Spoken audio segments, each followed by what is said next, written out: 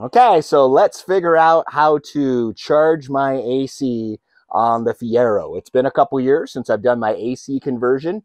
Um, it's actually been several years, maybe four or five years since I've done the conversion. I'll put the date here. And of course, it's had a leak, but it's been several, several years. So that's pretty good for an old system like this where I didn't go through and change every single seal like I should have. I changed a few of the seals, but not every single one. So there's a tiny bit of a link, leak, um, but it's microscopic. It's lasted, like I said, years like this, just fine. If this goes empty again in like a month or so, I know I'll have a much bigger problem and then I'll have to go through and check all my seals. So if you're able to get your Freon at the Walmart or wherever, uh, or ordering it online, however you can get it, this is how you do it. So for about $20 or so, you can get your AC up and running again, assuming you have no leaks. This video is just about charging. If you have other maintenance issues or repair issues or conversion issues, that's a completely separate topic. In fact, if you want to see how I did my conversion, I'll go ahead and post a link for it here and put it in the description as well. This video is just about charging if you already have the 134 conversion done. All right, so the first thing you need to do is get your caps off. There is your low pressure one on the accumulator, and there's the high pressure one down there. So uh, just unscrew those caps. They should be hand tight. Step one, I have the gauge hooked up to my lines. The line that is going to the accumulator, that is your low pressure line. It also, if you have the cap, has a big L on it. So that way you know that's the low pressure. And the high pressure has H on it. Down here is where it hooks into. Both of these are just snapped on right now. Neither one is actually um, connected yet. I have both these valves closed. Yes. So first thing, I'm just got to close this valve now. Or not? What? It shouldn't. Why is it doing that? Is my gauge screwed up? Okay, there. Now it's closed. Huh. Yeah, it's leaking. Yeah. okay, now it's closed. So that means I bled the air out of that one. Let's see if this one does that. You need to close it so that Schrader valve opens. Okay, that should be open. Same thing, bleed the air out. Okay, there we go. Air's bled on both of those. Apparently my gauge is wearing out. I need to get a new one. Okay, so bled the air out of both of those. Okay, we're going to start the car, turn the AC on. Okay, car started, clutch released, AC on, full. So the good news is I have a little bit of pressure. If that was empty, I'd be concerned. But it, it has a slow leak. So after many years, that's not too bad. So now I got to start charging it a little bit. All right, so if you don't have a manifold gauge, you can use one of these to charge as well. These are nice because it actually has kind of a guideline of what it says to uh, fill it to. So down here you set your temperature, at 75 degrees. So it says I should fill the low pressure side between now like 27 and 46 is what this says. Right now I'm at 20. I only have 20 pounds in it right now. So if I start filling this, it should turn on pretty quickly. Okay, attach my can turn it on. So this is reverse threaded, I believe. Oh, oh, what's, oh, it's loose.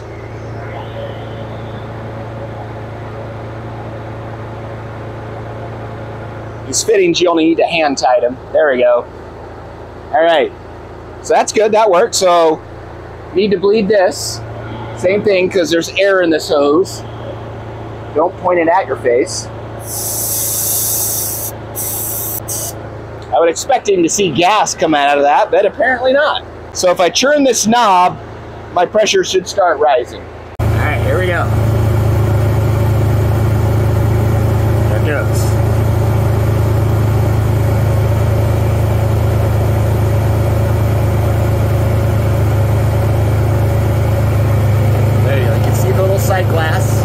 it's working.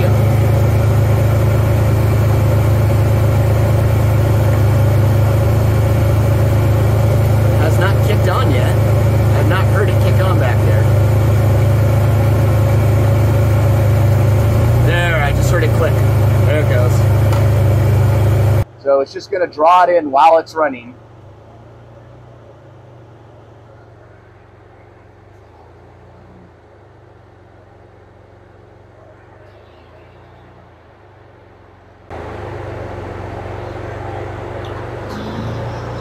Might need more than one can. We'll see. It still hasn't even got to the point where it's on all the time yet. Come on, baby. I don't know why. Usually shaking the can makes me feel better slash helps. Yeah, you can hear it definitely staying on longer now. All right, I guess I need more.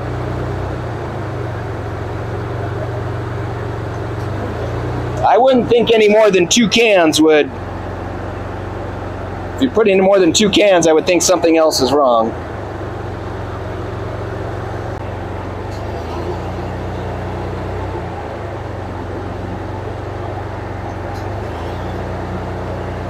Okay. Bleed it. Ah. I saw visible stuff this time. There he goes.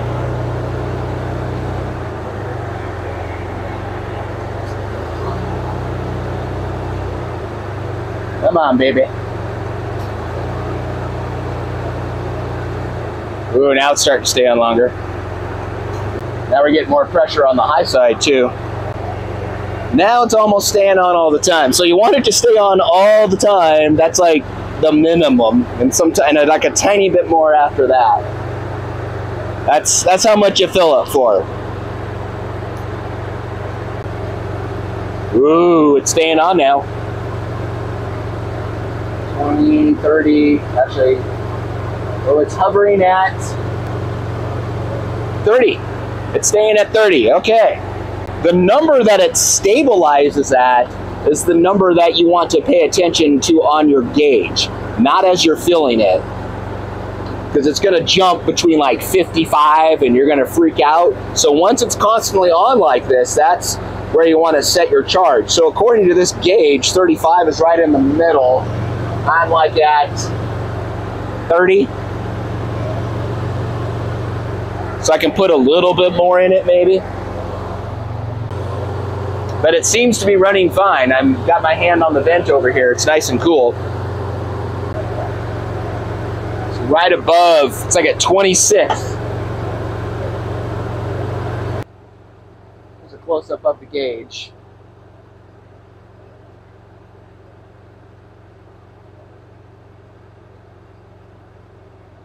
So technically that's barely enough to keep it on.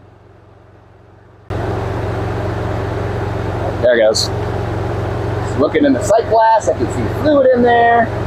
Now we're at 30. I'm telling you, wiggling this gets it in there. There it goes. That's much better. Okay, now I'm going to turn that off. Closer to, it's closer to 30 now. It feels nice and cool to me. I can put a thermometer in there and get the exact temperature seems to be stabilized. It's running. It's nice and cool. I just checked the inside temperature. It's like 42 degrees it's blowing out.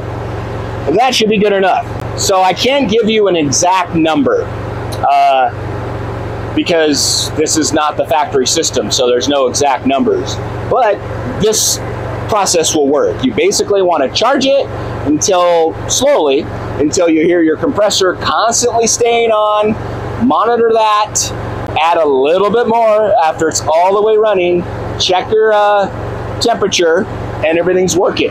You do not want to overcharge the system. You can overcharge this, and I think bad things happen.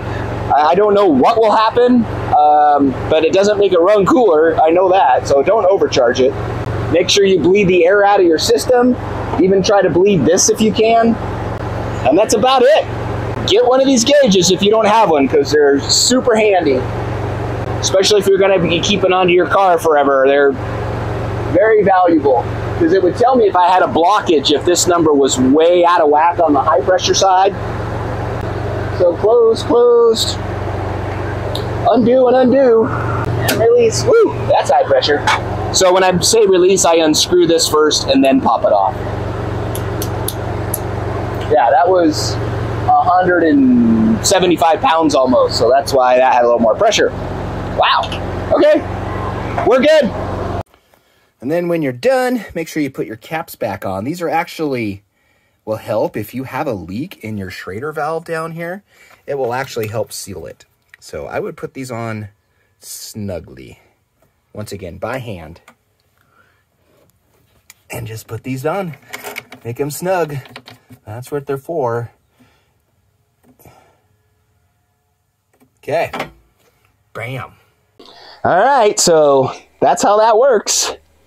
Now, obviously, several things can happen at this point. You can still have a leak and it will leak out. You can continue to charge these. These cans used to be like five bucks a piece. Now I've noticed they're 10. And in some states, for a crazy reason, they have um, said you can't use these anymore, which there's no federal law against that. So I don't know. I think you could still get these shipped to you in certain states. But yeah, 134 is never going to be illegal. But there's just restrictions in certain states. I don't know why, or counties or something. But here, I can buy this stuff. But now it's $10 a can. So there you go. For $20, I have got my uh, AC system up and running again on my Fiero. This process is exactly the same on any um, GM car of this, any GM. All my GM cars, this process is exactly the same. I don't know about every car in general, but high pressure, low pressure, blah, blah, blah. It's all pretty much the same. Been a week later and my AC is running nice and cold. Here it is on a moderately warm day. It's not super hot, but the AC is ice cold. I wish the AC on my Corvette worked this good. It's just fantastic. So good luck and enjoy your cold AC.